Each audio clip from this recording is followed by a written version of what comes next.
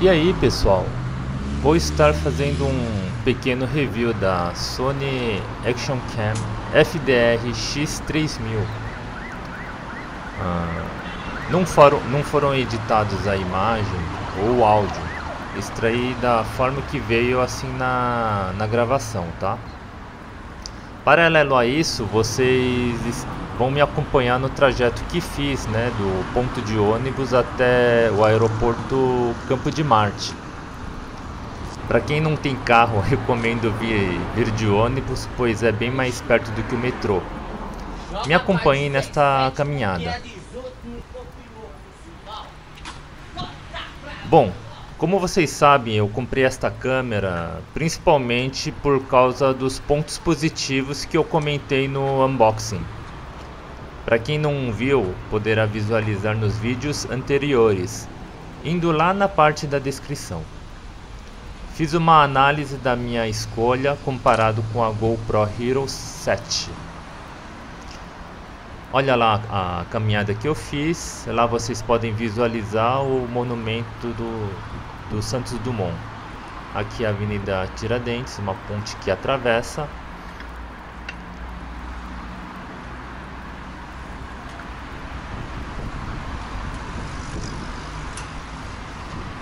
Avenida Tiradentes.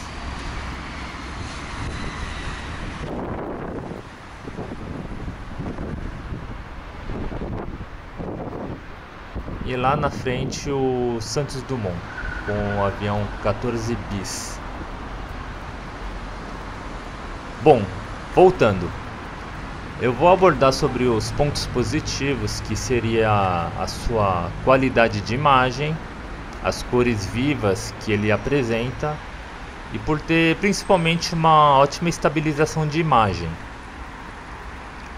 Esse modelo ele foi lançado em 2016 mas ainda continua firme e forte comparado ao seu concorrente direto, a GoPro Hero 7. Vocês podem perceber que eu estou andando rápido. A, im a imagem, tipo, deveria chacoalhar bastante. Mas olha só a estabilização. Ele consegue absorver muito, muito bem e tentar deixar o vídeo bem estável. Sobre o som, eu desabilitei né, a opção Wind Noise Reduction, que seria a redução do barulho do vento.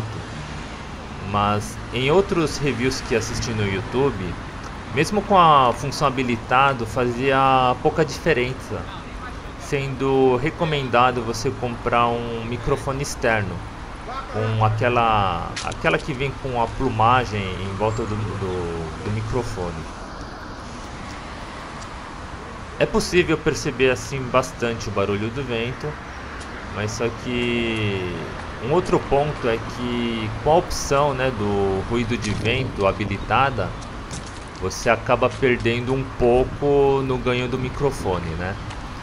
Então foi um dos motivos de eu ter desabilitado essa opção. Aí outra que eu acabei baixando a câmera, né, para baixo porque estava chamando muita atenção, né? Então, mas nem por isso vocês conseguem perceber que a imagem continua bem, bem estável. Sobre o formato do vídeo, existe a opção MP4, o XAVCS e XAVCS 4K. Eu escolhi a opção MP4 já que é o formato utilizado pelo YouTube. E é o formato também que eu utilizo para editar meus, meus vídeos. Dentro da opção uh, ah, MP4 existem as subcategorias que é PS, que é a qualidade Full HD em 60 frames, o HQ, que é o Full HD em 30 frames, o STD, que é, que é a qualidade HD, e as opções de qualidades mais baixas, o HS 120 e o HS 240. As opções de, de resolução baixa eles são bons para você fazer vídeos em câmera lenta, porque existem um alto frame por segundo. Eu escolhi o formato do vídeo HQ, que é a opção Full HD, ou seja, em 1080p, é, 1080p, né? E o frame rate que nem eu comentei anteriormente, foi o padrão, que é 30 frames por segundo. A definição de cor existe a opção Neutral e a Vivid. Eu escolhi a Vivid porque deixam as cores bem mais vivas. Você pode ver pelo, pelo cor do céu nesse vídeo, lá no fundo. A cor assim é bem viva, qualidade assim é muito boa. Então, isso também foi uma das uh, razões de ter escolhido essa câmera. E, e é lógico, né? Uh, a função Steady Shot, que seria a estabilização de imagem. Existe a opção Active, Standard e a Off. A Active seria o pleno funcionamento, né? Tanto na parte uh, do hardware em si, tanto na estabilização no software, via software. A opção standard seria o meio termo, mas eu achei meio que inútil a opção standard. E a off, que é a opção desligada.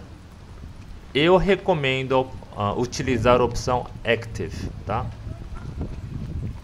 Sobre o angle settings, seria a amplitude do campo de gravação. Existe a opção uh, wide, que é ampla, medium, que é a média, e a narrow, que seria a estreita.